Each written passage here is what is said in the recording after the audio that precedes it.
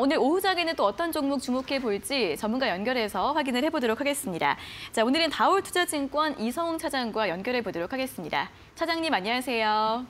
네, 안녕하십니까? 네, 자 오늘 시장은 밀리고 있지만 그래도 일부 섹터들 굉장히 강한데 어떤 섹터들이 좀 주목이 됐나요?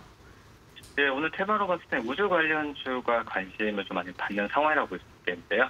우선 정부가 이 한국 운- 한, 한국 항공 우주 산업의 이 경남 방- 본사를 방문하면서 이 미래 산업으로 육성하겠다라고 좀 밝힌 점이 이 관련주에 대한 관심을 높게 삼다라고 볼 수 있겠고 우선 그 윤 당선인이 후보 시절 약속한 공약이죠. 어, 이런 우주 산업에 대해서 최우선 국정 과제로 추진한다는 원칙을 갖고 있었기 때문에 우주 산업에 대한 관심은 더욱더 뜨거워지지 않을까라고 판단됩니다. 여기에 개별적인 종목으로 이슈가 있었죠. 이 한국항공우주가 이 수주에 대한 부분에 있어서 어, 지금 현재 뭐 콜롬비아 쪽에서의 얘기가 좀 나와주고 있는 상태입니다. 콜롬비아 공군이 한국의 물- 훈련기 구매를 위해서 어, 협상이 좀 진행 중이라는 것 때문에 한국항공우주가 관심을 많이 받고 있는데 뭐 한국항공우주뿐만 아니라 LIG 맥선도 어, 관련 관심주로 좀 말씀드리도록 하겠습니다. 네, 우주항공 관련주에 대해서 이야기를 해주셨습니다. 정부 정책이 끌고 또 수, 수주가 받쳐주고 있는 흐름인데 또 개별 종목들의 이슈들도 확인해 보시면 좋겠고요. 자, 그럼 이어서 오늘 오후장에는 또 어떤 종목 공략해 보면 좋을까요? 네, 화신이라는 종목 말씀을 드리도록 하겠는데요. 화신 같은 경우에는 이 자동차의 이 뼈대와 어떤 그 프레임을 만드는 업체라고 볼 수 있겠고요.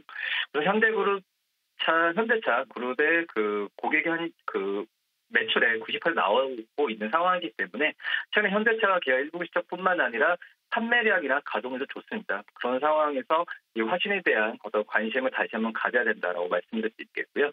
또 샤시 같은 부분은 쉽게 변형이 힘듭니다. 그렇기 때문에 이 현대차 그룹 같은 경우도 화신에 대한 관심을 계속 가져야 되는 상황이라고 볼 수 있겠고요.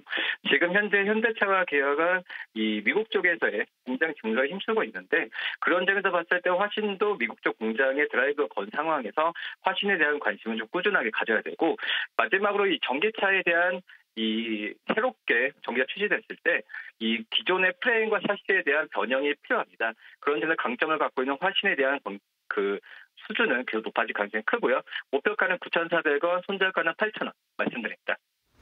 네, 오늘 말씀 잘 들었습니다. 고맙습니다. 네, 감사합니다.